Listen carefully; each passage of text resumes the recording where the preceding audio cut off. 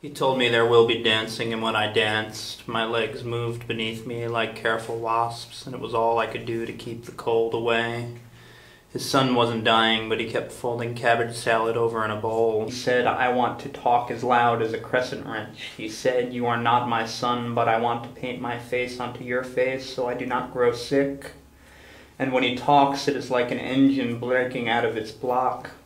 He asks, Will you be open minded? We practice caution, and later he's gone, and alone in his garage, I whisper a painting of an empty wine glass across his wall. I leave my mind to disintegrate like a sour orange. On the lawn, I push the bolts with a tiresome wrench. When I talk, it's like a radiator burning your cold fingers. He says some things may never change. He says in the winter, hats don't really keep us warm.